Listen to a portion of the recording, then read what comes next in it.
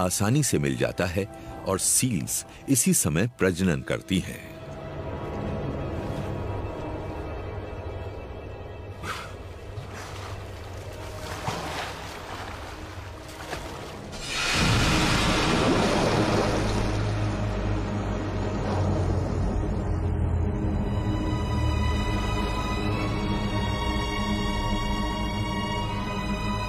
Great white shark का हमला महज एक सेकंड में खत्म हो जाता है। इसे 40 गुना धीमा करके देखने पर पता चलता है कि ये ज़बरदस्त शिकारी कितनी ताकतवर है और ये कैसे शिकार करती है।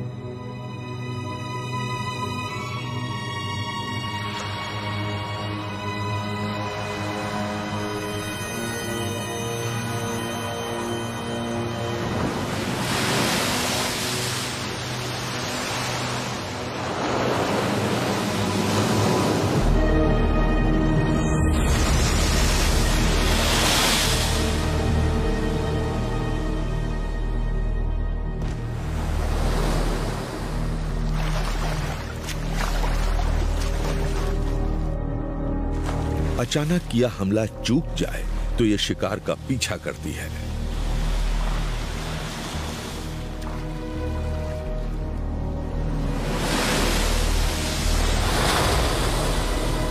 शार्क सीधे तैरने में ज़्यादा तेज है, लेकिन यह सील की तरह तेज़ी से मुड़ नहीं सकती।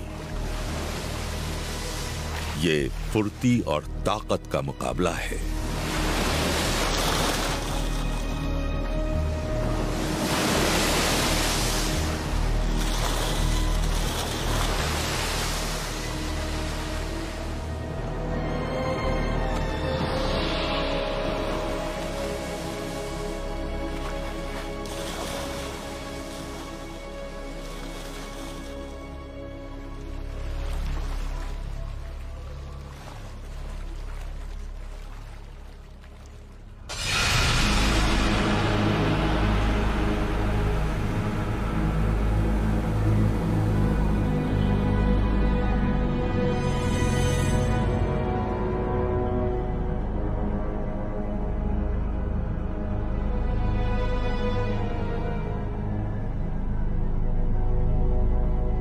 सीलों का प्रजनन खत्म होने के बाद ग्रेट व्हाइट शार्क्स यहाँ से चली जाती है।